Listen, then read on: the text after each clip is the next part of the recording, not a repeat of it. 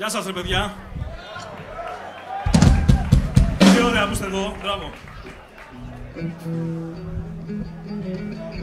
Για να δούμε.